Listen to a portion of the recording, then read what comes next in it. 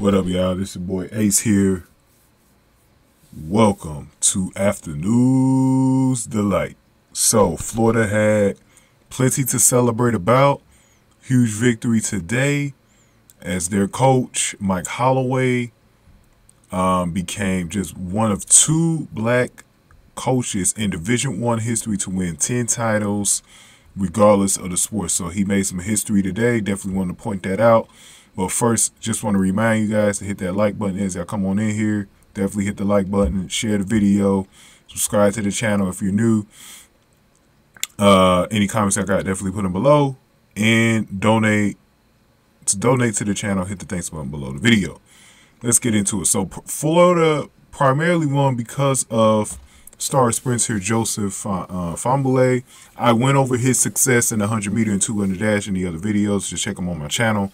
I go in a little bit more depth about what happened in those events, but his wins in those events obviously helped Florida win this huge accomplishment uh, on Friday night as the team uh, pretty much clinched it with the team relay, uh, 4x4 uh, relay team, uh, winning it with, uh, what was it, 2 minutes and 58 seconds, point 88 seconds.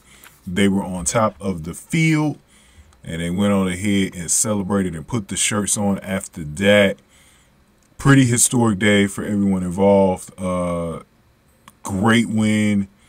Um, just impressive, impressive, impressive win. Florida continues to dominate this sport, man. It is just they're, doing everything, man. So I'm at a loss for words. I'm gonna go ahead and wrap this up for y'all.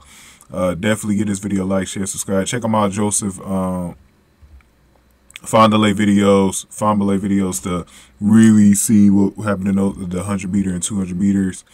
Just absolutely amazing, man. Uh, I also try to put the whole presentation of them winning um, in a different video. I'll put the link in the uh, in the comment section, and then I'll also have something uh, here in the uh, end screens here, so check check it out. So enjoy the video, guys.